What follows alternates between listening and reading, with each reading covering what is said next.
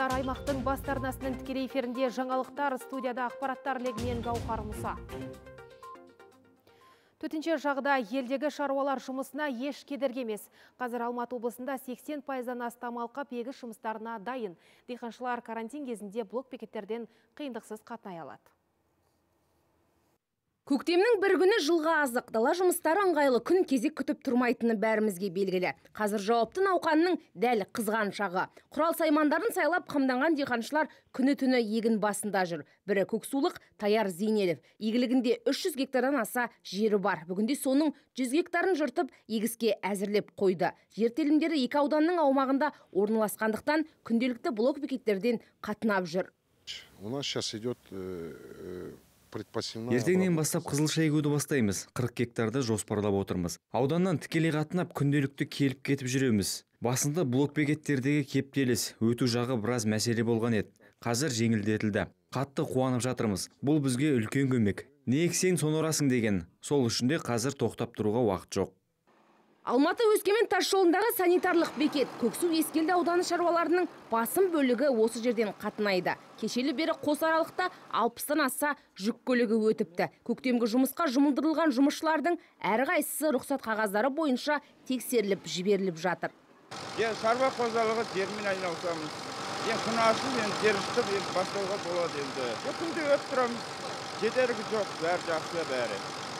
Карантин режимінде облыста шаруаларға арнап жасыл дәліз ұйымдастырылды. Ол бойынша бекетке келген шаруашылық техникасы, құрылыс заттарын тасымалдаушылар еш қиындықсыз кіріп шыға алады. Тек талап етілетіні төлқұжат пен шаруашылық иесін растайтын анықтама. Ал анықтама қожалық жетекшісіне ғана беріледі. Оны өз аудан, ауылындағы әкімдіктерден ала алады. Қалған жұмысшылардан ешқандай құжат талап етілмейді өтіп жатыр. Ә, оларға ешқандай бөгет болып жатқан жоқ. Жаңағы мен айтқандағындай сәйкестік құжаттарын тексереміз және ары қарай шаруашылық қожалықтарына жіберіледі.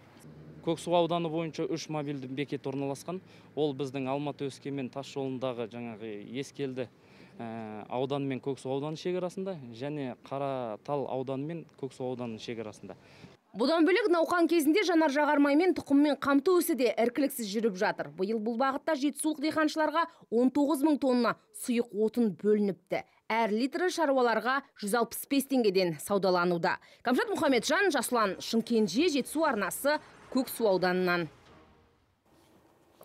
Талдықорғанда бүгіннен бастап қоғамдық көліктер қызметін уақытша тоқтатты. Қала ішіндегі 26 бағытта қатынайтын автобустар қозғалысына бірінші мамырға дейін шектеу қойылып отыр. Мемлекеттік бас санитар дәрігерінің қаулысына сәйкес көшедегі артық жүріс-тұрыс қатаң бақылауға алынады. Сонымен қатар жеке көлікпен жүруге тыйым салынады. Жұмыста жүрген қызметкерлердің барып келуін жұмыс беруші мекеме өзі қамтамасыз етеді. Сондай-ақ екінші деңгейлі банктерді енді онлайн қызмет көрсетуге көшеді екінші деңгейлік банктердің жұмысы онлайн режиміне көшеді. Олар жаңағы клиенттермен енді жұмыс жасамайды. Тек қана сол жаңа клиенттерге онлайн режимінде жұмыс жасап үйіне дейін жаңағы сол карточкаларын басқа да сервистік жұмыстарын атқарады. Барлық талдықорған қаласының тұрғындарына айтатынымын осы шараларға түсіністіктермен қарауларыңызды өтінемін.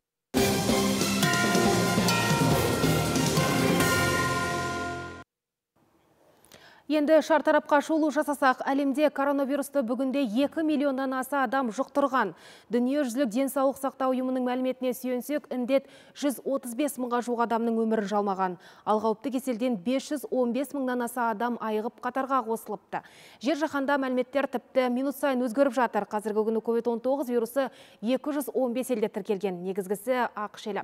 Мұнда індеттен өлгендер 29 мыңға жуықтады. Ал дертті жұқтырғандар саны көрші Өзбекстанда 1300 302, Қырғызстанда 466, Ресейде 27 мыңнан аса жағдай тіркелген.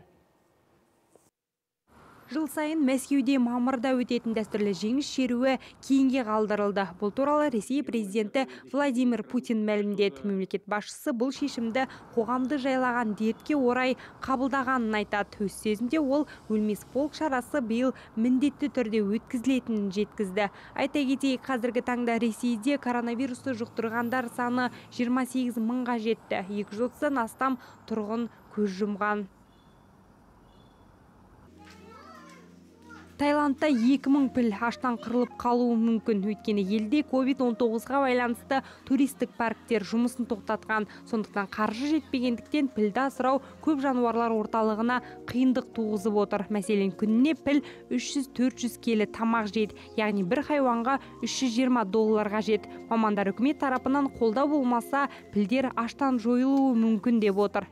Айта кетейік қазіргі таңда таиландта жеті мыңнан астам азиялық піл бар. Олардың тең жартысы парктерде өмір сүреді. Карантин кезінде британдық азамат бақшасынан 500 жыл бұрынғы қазынаны тауып алды. 48 жастағы аманда джонсон портсмунд қаласының тұрғыны. Карантинде зеріккен әйел ауласын металл іздегішпен айналып өтпек болған. Нәтижесінде ол жарты мың жыл бұрын жасалған алтын тиын тауып алған. Монета генри жетінің тұсында шығарылған екен. Яғни 1464 жылдан бастап 200 жылдай айналымда жүріп тұрған. Қазынаның иесі құнды монетаны өзінде қалдырған. Топтаманы ғаламтор ақпараттармен дайындаған амина құдайберген жетісу арнасы Енді ел жаңалықтарына оралсақ, Қазақстанда COVID-19 вирусын жұқтырған тағы 10 жағдай тіркелді. Оның бесеуі Нұр-Сұлтанда, төртеуі Ақтөбе облысында анықталса, Түркістан аймағында бір жағдай белгілі болды. Жалпы еліміз бойынша қауіпті вирусты жұқтырғандар саны 1480-ге жетті. Оның ішінде 285-і дерттен толық айыққан, ал қайтыс болғандар саны 17.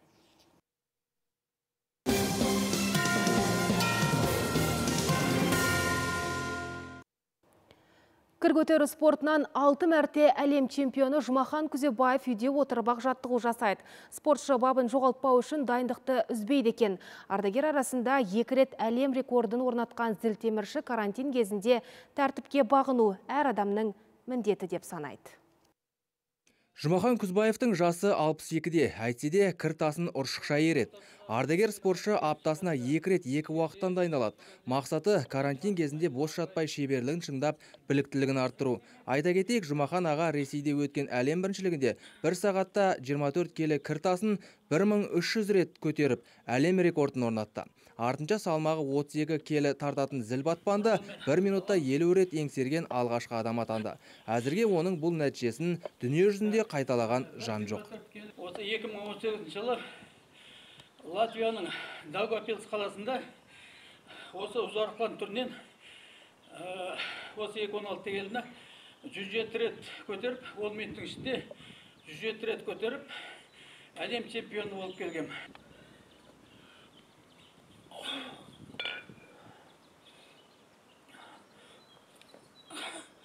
Жұмахан күзбаев биыл көктемде петропавл қаласында қазақстан чемпионатына қатысуды жоспарлаған. Онан соң оңтүстік кореяда жалауы желбірейтін әлем чемпионатында ел намысын қорғамақ болған. Алайда қауіпті індетке байланысты бұл жарыстар кейінге қалды. Дегенмен де жаттығу жасау спортшы үшін аса маңызды дейді өз ісінің шебері.